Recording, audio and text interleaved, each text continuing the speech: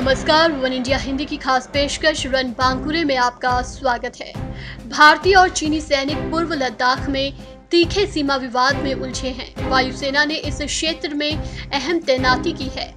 वायुसेना प्रमुख आर के एस भदौरिया ने वायुसेना परेड में कहा था कि भारतीय वायुसेना ने अपने निश्चय और अभियानगत क्षमता का दृढ़ परिचय दिया है और जब भी ज़रूरत होगी, वो दुश्मन से प्रभावी तरीके से निपटेगी।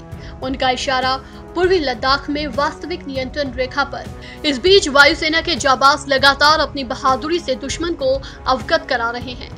इसी कड़ी में इंडियन एयरफोर्स के दो अधिकारियों ने स्काई डाइविंग में नया रिकॉर्ड बनाया है। विंग कमांडर गजानंद यादव और warrant officer A K Tiwari ने सत्रह हज़ार नौ सौ बयासी फीट की ऊंचाई से छलांग लगाकर अपना पुराना रिकॉर्ड ध्वस्त किया। इन दोनों ऑफिसर्स ने लेह के खार दुंगला पास के ऊपर से अट्ठासीवे एयरफोर्स डे के अवसर पर 8 अक्टूबर को छलांग लगाकर ये कामयाबी हासिल की।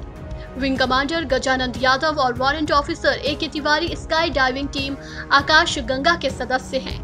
भारतीय वायुसेना के बयान में कहा गया है कि कम वायु घनत्व और उबड़ खाबड़ पहाड़ी इलाकों में कम ऑक्सीजन स्तर के कारण इतनी ऊंचाई पर लैंडिंग बेहद चुनौतीपूर्ण होती है।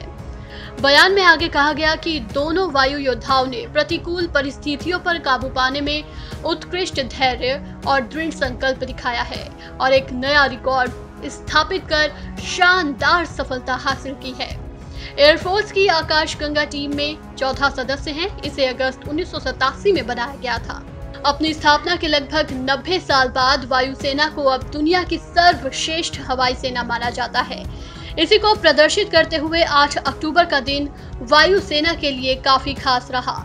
इस दौरान हिंडन एयरबेस पर आयोजित अट्ठासीवे वायुसेना दिवस समारोह में राफेल, जगवार, मिराज, सुखोई जैसे घातक विमानों ने हिस्सा लिया। इस दौरान उन्होंने हवा में करतब दिखाए।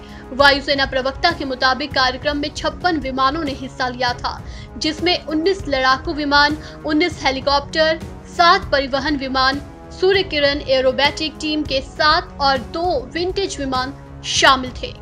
वहीं राफेल के अलावा एम आई थर्टी फाइव और अपाचे लड़ाकू हेलीकॉप्टर आकर्षण का केंद्र रहे। स्काई डाइविंग वाली आकाश गंगा टीम के सदस्यों ने कई बार दूसरे देशों में भी हज़ारों मीटर की ऊंचाई से छलांग लगाने का हुनर प्रदर्शित किया है। इस पेशकश में फ़िलहाल इतना ही। नमस्कार।